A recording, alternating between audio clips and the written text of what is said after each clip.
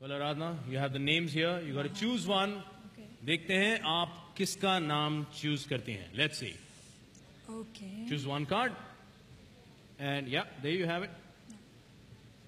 Ho ho! Arjun Kapoor. Mr. Arjun Kapoor. All right, ladies and gentlemen. If you could be on the cover of a magazine, Okay. which magazine would you choose? I'll give you options Femina, Filmfare, Time Magazine, India Today, or Vogue. Okay. Uh, if I had to choose, it's a tough decision. So I would go for Femina first, then others will follow. Yeah. Thank you. All right, right. All right. Well, and the judge is the Yami. Oh, sorry, Yami Gautam. If you were given an opportunity to be Priyanka Chopra or Aishwarya Rai, who are both successful Miss India and Miss World winners, who would you choose to be and why? And you cannot choose yourselves. Thank you. That's a really interesting question. Priyanka Chopra and Aishwarya Rai, both of them are my role models, and they are the ones who have inspired me to come here. I am extremely serious. Those are the two personalities. They are the reason why I'm standing here. So it's a difficult choice for me. But if I were to choose, I would choose Aishwarya Rai because she is a classic example of beauty with a purpose and she has done a lot for the community. She's done a lot for India and that is the reason I would choose Aishwarya Rai. Thank you. Contestant number eight, Gayatri Reddy. Miss Ekta Kapoor.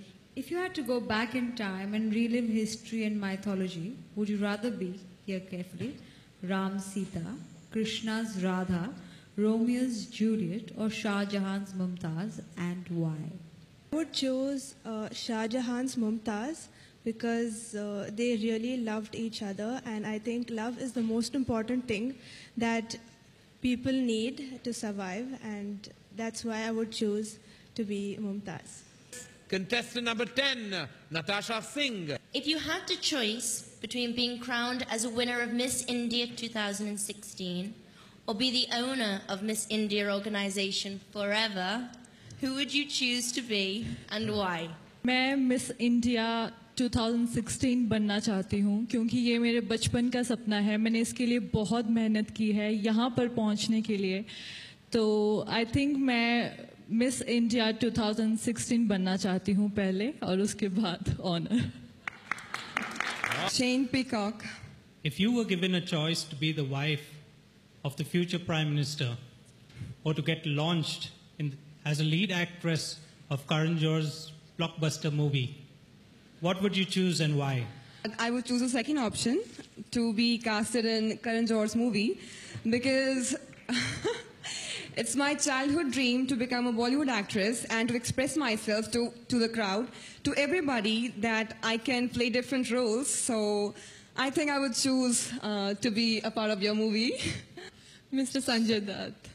Assuming that all these famous personalities are young, single, and unmarried, who would you choose as your life partner and why? Your options are, except for me, Shah Rukh Khan, Salman Khan, MS Dhoni, Virat Kohli. You have to choose just one. Well, uh, this is a very difficult choice because all the celebrities that you've mentioned are great people and have earned a lot of respect for our own country. But uh, I would choose MS Dhoni because he is the one who has brought the cricket team to the epitome of what it should be.